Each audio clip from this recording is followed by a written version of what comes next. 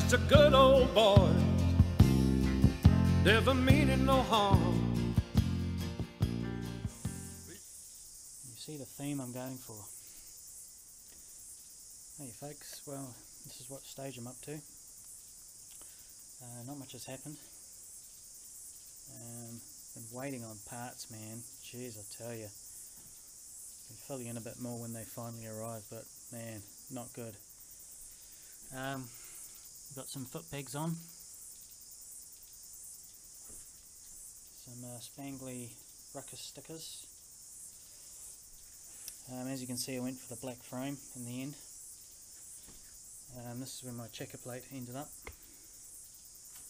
Um, we don't have absolute perfect weather like uh, California or Florida or whatever so uh, got to stop the spray on my backside somehow. Um, went for this plastic cover here. Um, it looks a lot tidier.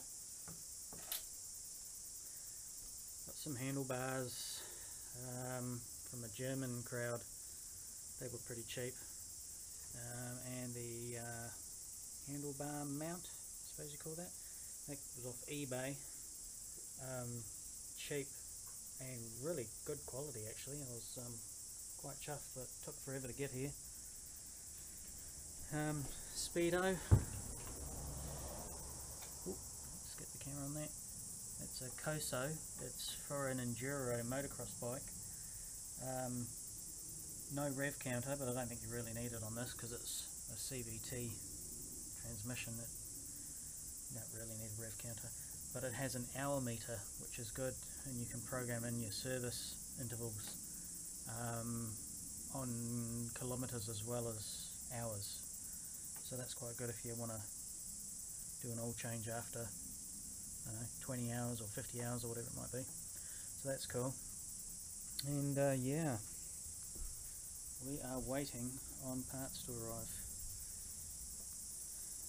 I didn't like the colour uh, the plastics the whole bike when I first got it was like a like a a sea blue. It was yeah aqua I think they called it. So um, we've decided to go General Lee Dukes of Hazzard. It's either that or the A-Team. You can tell what era I grew up in eh? So anyway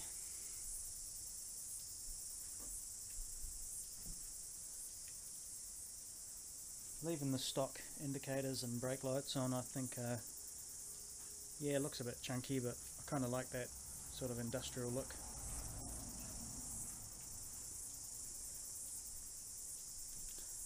Next video will come when I have some parts